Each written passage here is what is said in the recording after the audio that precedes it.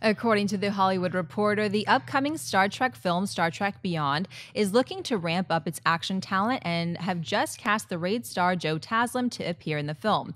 Nothing yet is known of Taslim's role. Star Trek Beyond is scheduled for release on July 8, 2016, which is just two months to the day before the franchise's 50th anniversary. John Byer saw the addition of Joe Taslim to the Star Trek cast. Well, I buy it, especially, you know, when you're talking about trying to build up to use another sports analogy gms uh, sports analogy gms will often look at their team and say what areas do we need to shore up? Where can we add more depth and more talent? And if you're star trek what can we do? Hey the physical action. They've done pretty well with their space action stuff like that that have made i've enjoyed the star trek films. I know the second one had its detractors but i had a lot of fun with it.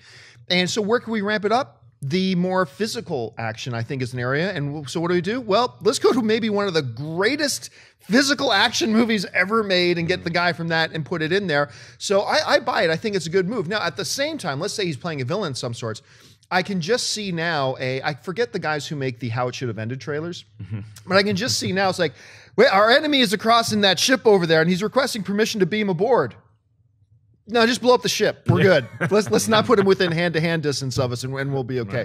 Anyway, but overall, adding this kind of talent's good. I give it a buy. Mark. Yeah, I, I give this a big buy because what do you need in Star Trek? You need, and I don't know if this guy's going to be a villain, but you already you think about who we already know in Star Trek. We really just know the good guys. We know Kirk, and we know Spock, and we know Scotty. We, we know all of the, we, we know them. We know Sulu. We're waiting to see who can really pose a threat to them. So if you cast this guy in a big role, I think it's probably going to be as a menacing villain, which he's perfect for. The raid is great. It's the same thing that Star Wars The Force Awakens did that got us all excited is when they cast a bunch of actors that were in the raid too and we're like, "Oh man, these fight scenes are, Are going gonna be be, sweet." So I think it definitely ups that ante and he's a pretty good actor too. So I think it's a credit to Star Trek Beyond whether he's a hero or a villain or he's just somebody who you don't really trust and you're not even sure if it even pans out in this movie. The action quotient for this film just went up. He's going to be a tribble. Anyway, snap. I'm going to sell this because when I think of Star Trek, I think of pulse pounding action and hand to hand combat. No, I don't. I think of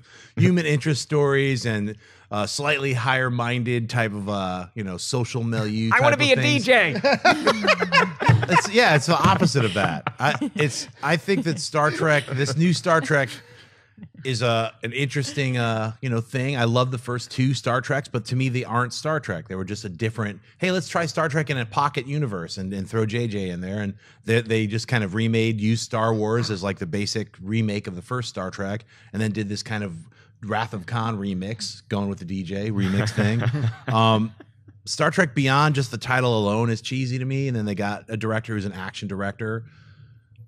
I got to just kind of be like, I don't know what this movie's going to be. I'm going to see it and hopefully really love it. I love the casting of this guy, but to me, it just it's it's showing me that they might be going in a different a different way than. Star Do you think Trek we're too be. far removed from being able to bring back the Star Trek feel because of the first two reboots, or can this movie do that? I don't think it can redo it. I, I don't think it can do it. I think that the, they have to do another Star Trek that's totally different to get back the original Star Trek fans. See, here's the funny thing to me is that I watch these films, and we are I just said a little bit earlier in the show, is like, look, if you're going to reboot something like a Spider-Man or whatever, make it your own, mm-hmm. you know. And when I watched that first J.J. Abrams Star Trek, it was it uh, definitely a Star Trek made for you know the 2000s and oh, I can't remember when the first Star Trek mm, 2009 or whatever was it made for the 2009 mm. 2010 audience, and it was made for the 2002 2010 audience, but I still felt watching it, especially when you look at the the the mannerisms and the interactions and the characters of Bones and Spock and how they all interacted together with James Kirk and even though uh, you know we look at Spock and and Zach. Uh, uh, I forget, forget the actor who played Uh, uh, Quinto. Spock. Qu- Quinto, Yeah. Zach Quinto. Um, he very much brought a lot of Leonard Nimoy into his performance. When you look at Scotty, he brought a lot of Doohan into his performance. And if, interestingly enough, Captain Kirk was the one who didn't bring the mannerisms from the first one over. But because of all those things were there, I still felt like it was Star Trek, but it was a different Star Trek and a different, for, made for a different audience at a different time.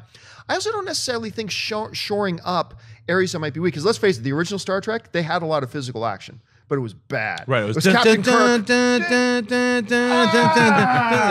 one of these. Oh yeah, one of the double axe handles, the Macho Man double axe. Whoever does that, yeah, that's an automatic. And and no hurt. kidding, they Yeah. did the karate Yeah, the- chops to the shoulders. Ah, it's like, well, if you're good, so they've always had it. Right. Let's maybe just do it a little better than we've done it before. But I mean, you're right; they are to- two totally distinct franchises now. But I still think the feel is there for me, at any rate. I want it to be, and I'm glad that Simon Pegg, who's a big sweaty nerd, he came in and did a rewrite, and uh, you know, it's it's Yeah. going in a different direction, and I, I'm I'm holding out hope that it's going to be amazing. I'm just saying, like when I hear news like this, I have nothing against the Raid or the Raid Two. I love both of those films. It's just hearing that we added this amazing. So then I when I I heard that this morning, I was like imagining like slow motion jumping shots and all this crazy action stuff that just doesn't feel like Star Trek to me. So